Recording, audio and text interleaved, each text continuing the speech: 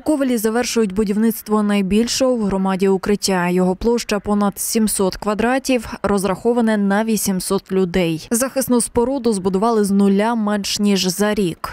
Дуже довго йшов процес виготовлення проєктно-кошторисної документації. Потім тривалий час йшло погодження, е, всі дозволи брались. е, І, власне, зараз е, це укриття вже на завершальному етапі. Йде монтаж вентиляції, після чого воно буде введено в експлуатацію.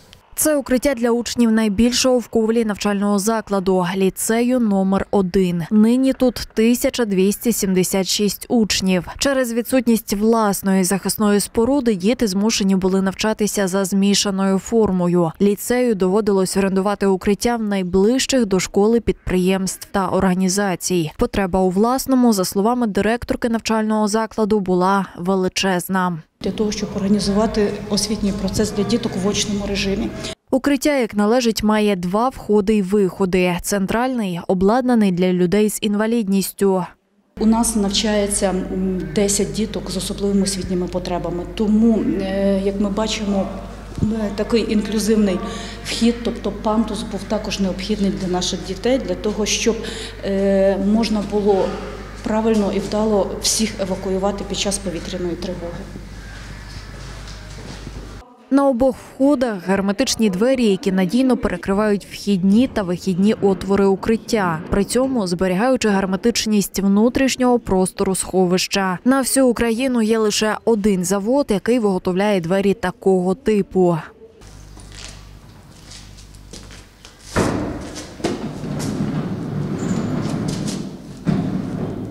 Приміщення умовно можна поділити на два з'єднані між собою блоки. У кожному на випадок відключення централізованого опалення є твердопаливний котел. Дане укриття спроектовано таким чином, що ми зможемо його поділити на зони і е, певним чином відновити освітній процес навіть в укритті, не порушуючи його, тому що тривоги бувають і довготривалі, по дві години. Тобто ми зможемо навчати в таких умовах дітей, продовжувати уроки. Думаю, що от в тому приміщенні в нас буде можливість поставити декілька пар для того, щоб, звичайно, щоб діткам було зручніше е, продовжити освітній процес.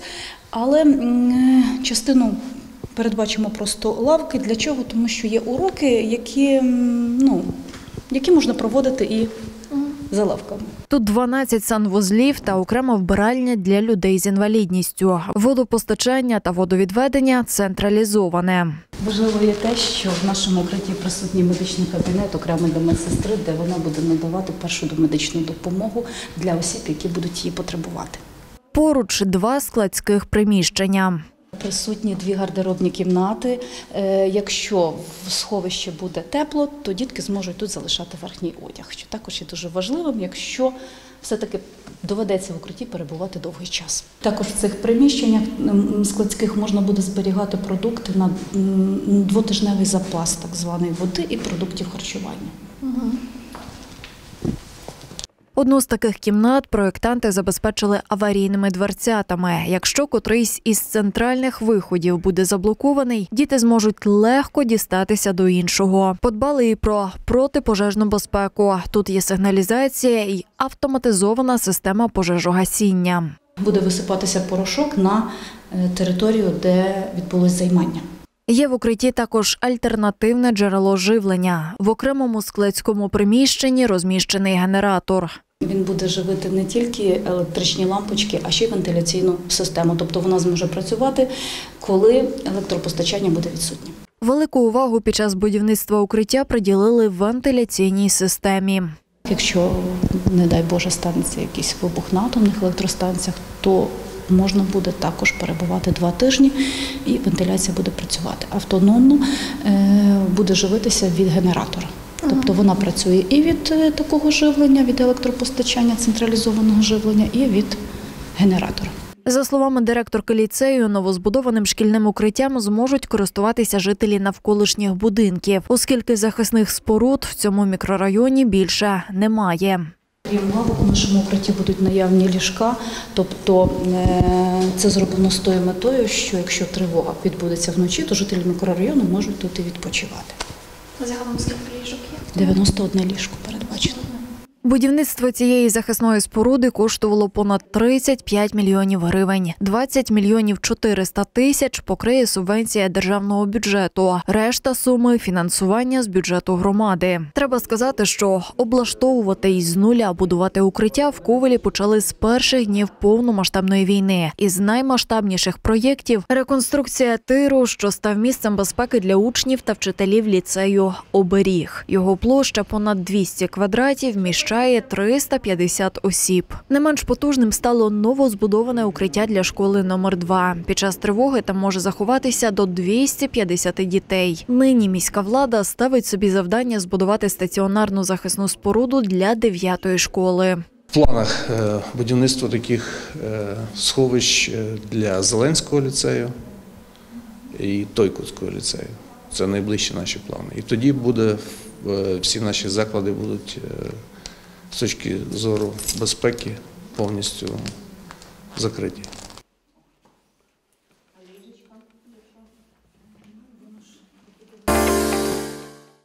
У Ковелі облаштують інклюзивний простір молодіжного центру. Заклад розташують у приміщенні стадіону Верес, яке знаходиться на першому поверсі і має зручний вхід, який не потребує пандуса. Гроші на цільову соціальну програму Молодь Ковельської громади 700 тисяч гривень. Місто дасть дитячий фонд ООН ЮНІСЕФ. Цю суму спрямують на ремонт, облаштування інклюзивного простору молодіжного центру, закупівлю необхідної техніки і обладнання для нього. Проєкт планують організувати у цьому році. Міський голова Ігор Чайка вже підписав меморандум, що стосується реалізації проєкту у рамках програми зміцнення спроможності молодих людей стати агентами змін через розвиток життєвих навичок підлітків та підтримку молодіжного активізму у семи західних областях. Цю програму фінансує дитячий фонд ООН ЮНІСЕФ та реалізує ГО ініціативний центр активності та розвитку громадського почину єднання. У Ковелі завершують ремонтувати дорогу, що сполучає два великі мікрорайони міста Сільмаш та вулицю Володимирську. Місцеві неодноразово зверталися до міської ради з проханнями замінити на вулиці Заводській дорожнє покриття.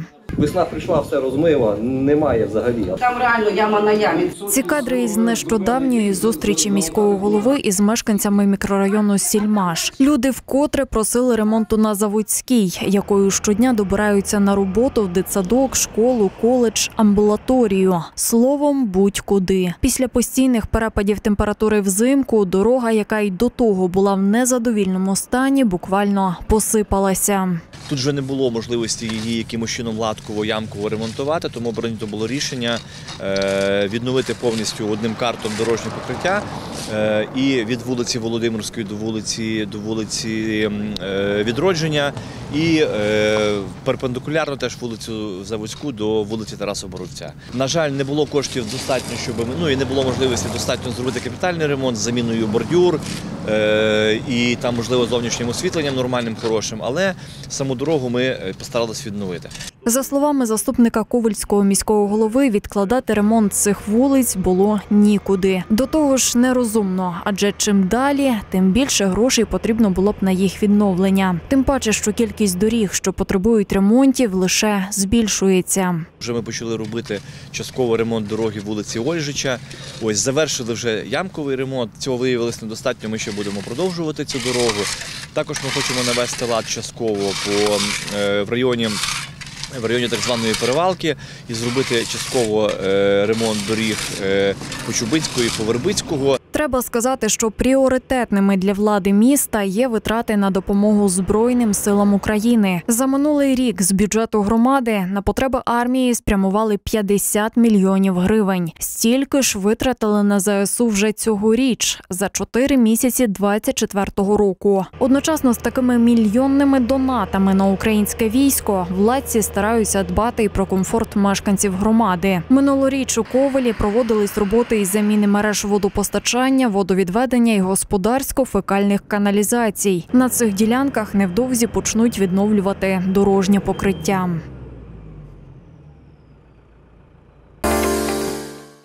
Всі були дуже здивовані і вражені, я в тому числі.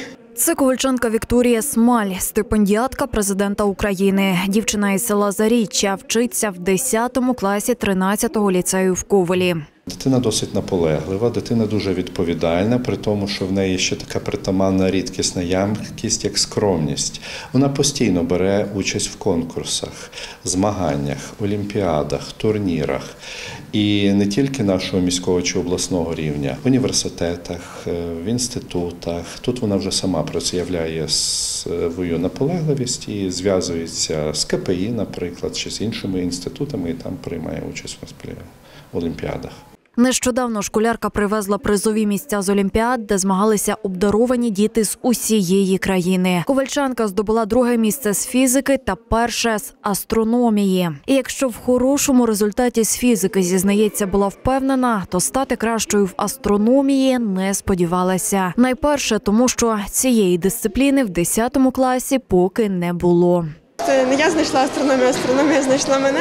Ну, взагалі, через мої успіхи у фізиці нам запропонували, сказали, що ну, у нас є, як так мовити, потенціал потрапити на високі рівні на астрономії. Ми до цього віднеслись, чесно кажучи, скептично, тому що ну, ти ж змагаєшся з людьми, людьми з різних топових ліцеїв України, з, українського фізико-математичного при Шевченкові, з Львівського, там теж дуже сильні і діти, і викладачі. Ми з вікою так ну, надіялись, ну на друге, можливо. І коли нам сказали, що це перше, то не повірила ні вона, ні я. Але результати показали, що таки дійсно.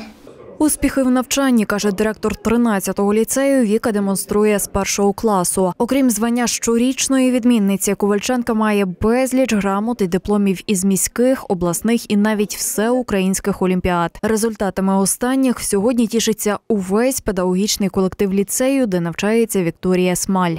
Безперечно, талановитих учнів досить багато, ну, але серед всіх цих зірок е, Вікторія Смаль, мабуть, найяскравіша зірка. Ну, мабуть, не даремно вона саме з астрономії на всеукраїнській олімпіаді здобула такий сам найвищий результат на державному рівні. Із перемогами десятикласницю її маму і вчительку вже привітав міський голова Ігор Чайка. Разом із заступницею Наталією Маланицькою та головним освітянином Ковеля Віктором Бичковським вручили Вікторії почесну подяку і сертифікат на 5 тисяч гривень.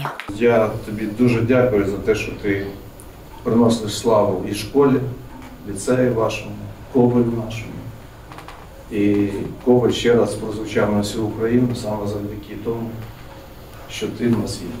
Призові місця, каже вчителька, яка готувала десятикласницю до олімпіад, виключно заслуга дівчини. Бо коли після уроків усі учні йшли додому, Віка завжди спішила в лаборантську вирішувати надскладні задачі з фізики. Все, що ми вивчили, це називається вільний від моєї роботи і її навчання час. Ну і з іншої сторони, як говориться, біда нас навчила. Ми тепер добре вміємо працювати е, в онлайні.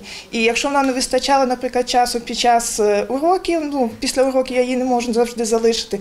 Ввечері в Zoom і працюємо. Вільного від навчання часу, зізнається Віка, у неї дійсно мало. Так як я живу ну, не в місті, тому в мене досить рідко є шанс зустрітися з друзями, так, щоб ну, погуляти, тому стараюсь використати його на максимум. Досить багато часу йде на домашні завдання і тому подібне.